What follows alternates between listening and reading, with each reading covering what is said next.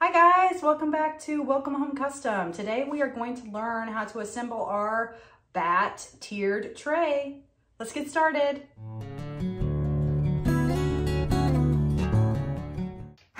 Okay, so let's go back over our pieces.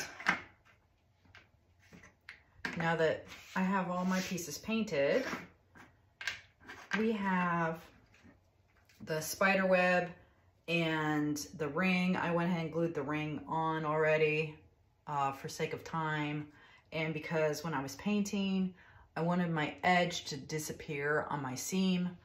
So I used Titebond glue and I just held it together with clamps and let it dry and then I painted. We have the two bats um, that you need to paint front and back. we have this kind of gothic uh, styled base. And then we have our four feet. So, uh, oh, and then we have our spider webs, which I cut in acrylic. And we have the top, which I cut in acrylic, which is a little dusty. Uh, so, what we're gonna do first is we are going to put the bat's uh, feet and the spiderweb feet on the uh, on the bat and the spider webs and then we're going to attach the top and it'll make more sense in a little bit. Now you'll notice that there are four different slots. The slots with the little uh, three circle design that is where the back goes.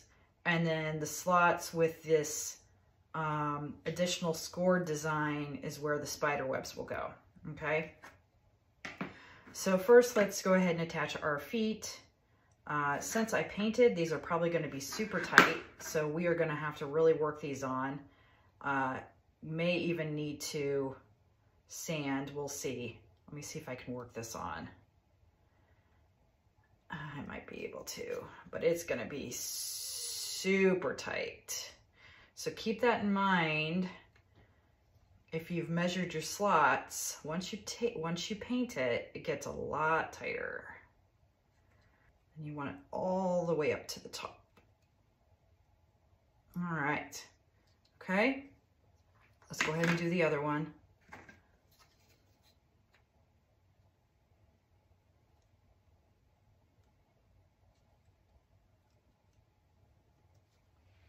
So. There's our two bats. Put the feet on our uh, spider webs. Now, we want to make sure we put them on the right way. So your spider web needs to be going outward, okay? Like that. If you do it the other way, the wrong way, you'll see that it overlaps incorrectly. So you need to flip it around.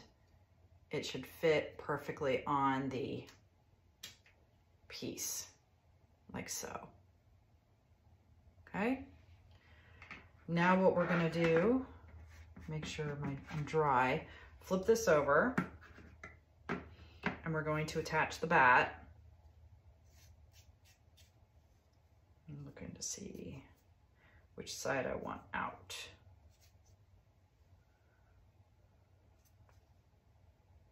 I think I want that side out. We're gonna set it in the tabs and work it into place. Again, keeping in mind that I really probably are gonna have super tight tabs because of the paint I added. Now something you could do if it's a major issue is sand off some of that paint.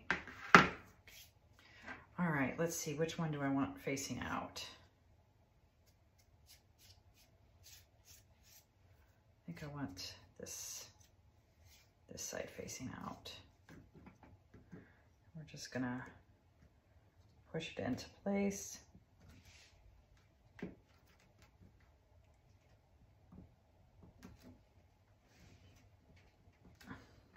So. Push this side a little bit more. There we go. Now we want to put our legs on. They should be going towards the inside.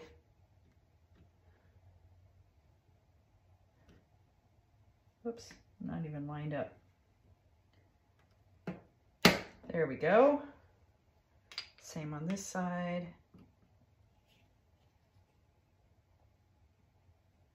And if your slots are tight enough, you will not need to glue. You can obviously glue if you want to. I rarely do. Okay, so now we're going to set this on top and we are going to line up our slots. There's one, there's two, there's three, course, the last one's gonna be the tough one, huh? Oops. There we go.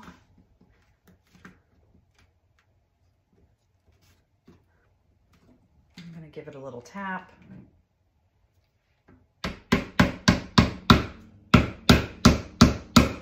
There it goes.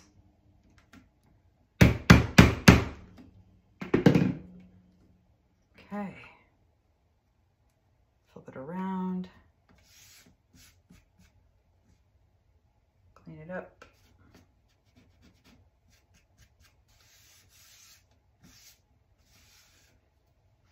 And that is assembled. Now, I've made an additional piece.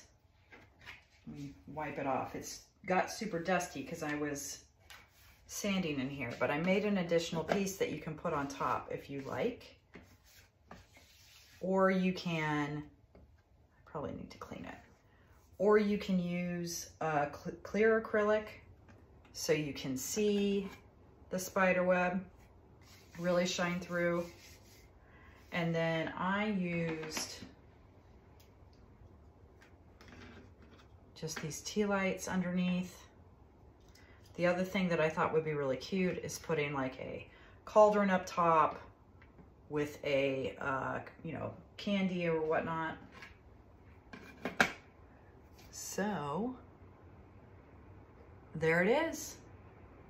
All right, guys, I hope you found this tutorial helpful. If you have any questions, please let me know. Make sure to subscribe and grab the file at my website, welcomehomecustom.com.